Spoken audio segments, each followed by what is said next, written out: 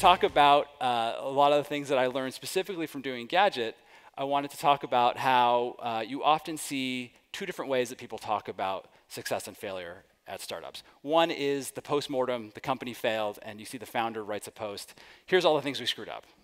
And uh, you know, you, they say you learn a lot from failure, and that's true.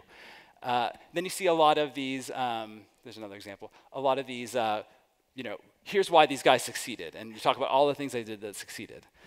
What I wanted to do, uh, and I wrote a blog post about this after gdgt was acquired, is talk about the things that I wish I had done differently, even though things did work out, and that you can, even from success, you can still learn some lessons and think about the, uh, the things that, uh, you know, the, the bumps you had along the way that uh, you could have avoided if you had had sort of, you know, the, you know, the wisdom at the time. So uh, I have five lessons, I have about five minutes left, so I'll try to do one per minute. Uh, so one of them is be less secretive. One of the things that we did uh, when we were launching gdgt is we were obsessed with nobody knowing what we were doing. We were in stealth mode, which sounds really cool, right? And um, you know, when people ask you what you're doing, you say, I can't tell you I'm in stealth mode.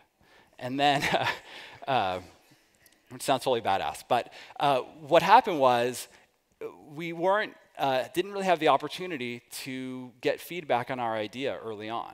Um, it would have been really helpful for us as we were building the product and testing um, uh, what we were doing to actually have just regular people that knew about it and could tell us what they thought. And we deprived ourselves of that opportunity. And it's one of the things I really regret. We wanted to surprise everybody on day one with what we were doing. And the end result is it doesn't make that much of a difference. Uh, sorry, I went backwards. Um, so uh, that leads into no big launches. So we, again, we were obsessed with having a really big launch, making a big splash on launch day. We had the New York Times had an exclusive story on our launch, which was great, except that it drove a ton of traffic to the site, which then crashed the site. And uh, um, you know, we thought that we were ready for a million people on day one, but we weren't. Uh, but also, it meant that we had so much focus on what we were doing right away that we actually didn't have a chance to, again, to test our idea, see what people liked and didn't like, and then fix those mistakes. Obscurity is your friend when you're starting out because it lets you make those mistakes without too much of the spotlight being shown on you. And sometimes when you have a ton of attention on you, you become really afraid of making mistakes, and then you actually aren't able to do the things that will end up leading to a better product down the line. So, another one be less agreeable. Now, this is the one that only really applies if you have another co founder. And so, my co founder, Ryan Block, and I, we'd worked together for a really long time. We knew how to work really well with each other. And that sounds like a great thing, right? Except the problem is, when we disagreed on something, we actually figured out how to compromise. And that sounds, uh, also sounds great, except what ends up happening is that we were meeting in the middle. So one of us would have a vision for the product, the other would have a vision for the product, and we ended up compromising and doing something that was in the middle that ended up being very mushy and very mediocre. Instead, one person's vision should have won out, and we would have had a stronger product down the line, even if one of us would have been unhappy. And in fact, when we started to, uh, as the company grew and we started to subdivide responsibilities and give one person more authority in this area and one person, the other person more authority in this area. That's actually when the company started to grow and the product started to improve because we stopped having to compromise on everything and we actually were able to have one really more focused vision winning out for what we were doing. Second is design matters. I think this is actually especially true in the world of mobile. But what we found is that design of the product uh, design of technology products is incredibly important. You have to really be able to have empathy and understanding of your user and what they're doing and what they need and what, how they're going to use the product. But you also have to create something that's very beautiful and very easy to use. And I think there's a lot of challenges there. We talk about how simple is hard. Uh, but one of the mistakes that we made very early on is that we outsourced design. We hired a shop to do our design. And it was only after we brought the design in-house and actually hired uh, design and UX team to come, in, uh, come and work for us full time, that we were able to do the things with the product and make the improvements that really started to connect with users.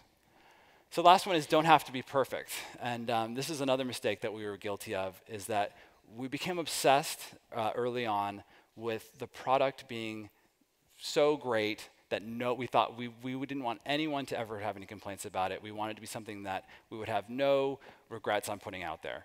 And it meant that we worked way too long on way too many things. It took us too long to get new versions of the site out, and we would have been much better off having put things out there, even if they weren't perfect, but at least to understand and get feedback from people as to what we could improve, and then doing another version, rather than working for a year or 15 months on something in secret then putting it out there, discovering that there was some problem with it or something that what people wouldn't be receptive to, and then having to go back and spend another you know several months working on it.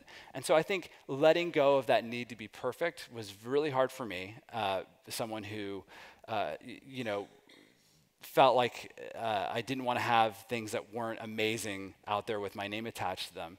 But I've learned that over the years that people are very forgiving uh, as long as you're honest with you're, you know, as long as you, as long as you're honest with them about what you're doing, and also that they know that you've put a good effort into it. And so I now try to contextualize everything I do um, with Alpha as these are experiments. These are beta products. These are things which we're putting out there as tests or uh, of a hypothesis or tests of whether this can find product market fit.